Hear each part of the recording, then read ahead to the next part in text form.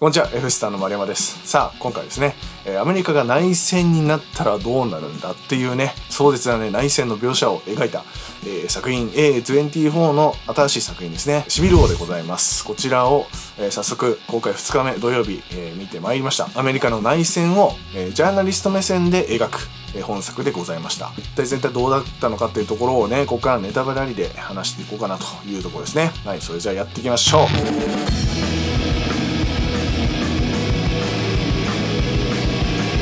構その社会派な作品だろうなとは思ってたんですけども、えー思ったよりもエンタメ性というか、まあ、見やすい作品にはなってましたちゃんと楽しめる、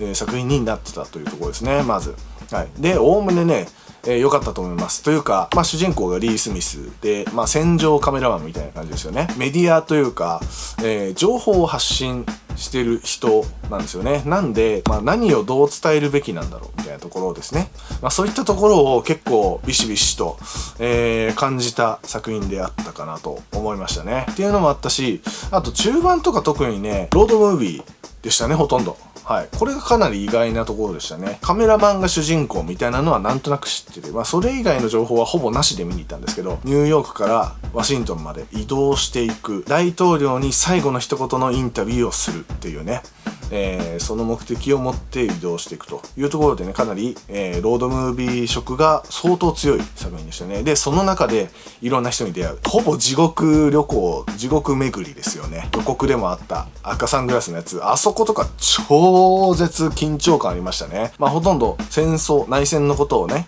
忘れて生活している日常のまま、ほぼ日常のままね、生活している人たち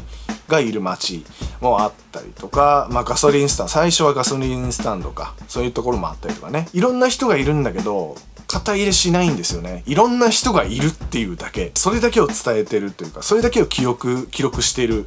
っていうところ、それがまた面白いなと思ってて。今作、ジャーナリストが主人公っていうところにも、えー、がってくるというか、その、フラットな目線ですよね。いいとも悪いとも言わない。ただ記録するっていうところに、えーこの作品の描き方っていうのが繋がってきてるなと思いますし、さらにその、もっと言うとこの、この作品で伝えたかったことっていうところにも、えー繋がってくる気がしてますね、そこは。はい。で、まあ、ロードムービーっぽかったなっていうのが1個ありましたというところで、やっぱ今作、一番すごかったのってやっぱ緊張感ですよね。この作品の緊張感マジですごいなと思うんですよね。本当に他の、まあ例えばその戦争映画、ブラックホークダウンとかさ、プライベートライアンとかね、傑作のね、えー戦争映画っていうのは、全然ありますけど、そういった作品よりもね、なんか緊張感っていう面では、まあダントツですごかったんじゃないかなと思いますね。これなんでなのかなと思ったんですけど、まあ本当撮り方もあると思うんですけど、一個でかいなと思ってんのは、えージャーナリスト目線で撮ってるから、なんじゃないかなと思いますね。はい。で、あの人たちだけ丸腰なんですよね。そもそもね、武装してたとしてもどうなるかわかんない。生きてるか死ぬか、えー、わかんない。っていうところに戦闘の素人で丸腰の人がそこにいるっていうでさらにその人たちを主人公にしてでその人たちに感情移入できるように、えーそこまで作っていっててるんでこの戦闘のシーンが来た時のね緊張感っていうのはめちゃくちゃ高いなと、えーすごく思いましたね。ここ素晴らしい。僕たちの一般人の目線が戦場に入ってどうリアリティを持たせられるかなって思った時に、えーあジャーナリストなんじゃないかなと。っていうのを思いついて作品のベースの部分に組み込まれてるっていうのは納得感あるし、えー成功してるんじゃないかなと思いました。ここ素晴らしかったですね本当に。はい。で、今作ね、音楽がね、すっげえ良かったです。既存曲がね、結構多く使われてたんですけど、これがね、選曲超良かったですね。はい。まず、もう、シルバーアップルスで始まるんですけど、はい。昔のバンドですね。いつだっけ ?70 年代ぐらいだっけな？シンセサイケみたいな感じから始まっていくと、これがまたすげえマッチの仕方してるなと。えー、あと中盤ではデラソウルが流れたりとか、山火事になってるところでカントリーが流れたりとかね。アメリカならではの楽曲ですね。カントリー、えー、あとそのさっきのデラソウルも、まあヒップホップ。めっちゃアメリカのジャンルの楽曲をこう使うことによって、悲惨なシーンでそういった曲を流すことによって、こう対比法でね、画面の中の現状の悲惨さが、えーこう浮かび上がってくるっていうね、やり方ですね。これがまたね、えーめちゃくちゃいろんなところで使われてましたね。ただそれの逆もあって、えー、あの難民キャンプみたいなところに行くじゃないですかそこに行くと、えー、絵自体はテント生活だけど、うん、割と平和に暮らしているという絵の中でめちゃくちゃ嫌なノイズが ノイズというかまあアンビエントな、えー、曲ですね、えー、それがずっと流れててこれがねすごく嫌なんですよ。そのさっきの逆の対位法の使い方ですね。そういったところもやってきててこれも面白いですね。だからその平和そうに見える絵なんだけどもこの人たちは家を追われてねここまで来たっていうそのバックボーンみたいなところが伺えるかなと思ったりする、えー、シーンになってたりしましたね。という感じでどこをとっても音楽はすごく良かったんじゃないかなと思いましたね。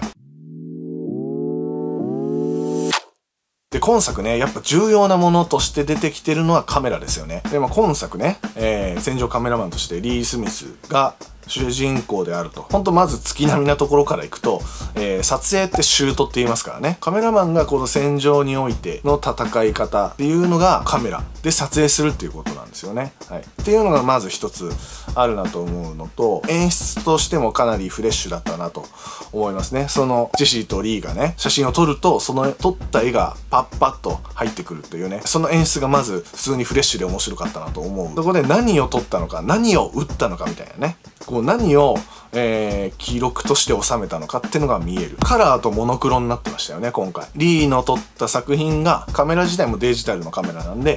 えー、デジタルで、えー、カラーの作品だと。で、ジェシーの方は、えー、ニコンのカメラでしたね。えー、フィルムで撮ってて、で、さらにモノクロであるという感じ。まあ、これが単純に、どっちが撮った写真なのかっていうのを分かりやすくするためだったのかなと思いますね。はい。っていうのと、あと、えー、リーのね、カメラですね。このセットアップがめちゃくちゃいいんですよ。説得力がめちゃくちゃあるんですよね、あのカメラのセットアップ。まあ、ちょっと軽く説明させてください。で、ボディ自体はソニーのカメラですね。まあ、アルファ系っていうところですね。なんですけど、レンズはライカのレンズつけてたんですよね。えー、何かっていうと、ライカのレンズとソニーのボディのカメラですね。これって、そのままくっつかないんですよ。マウントっていうのが違くて。だから、別のマウントに変換して、わざわざソニーにくっつけてる。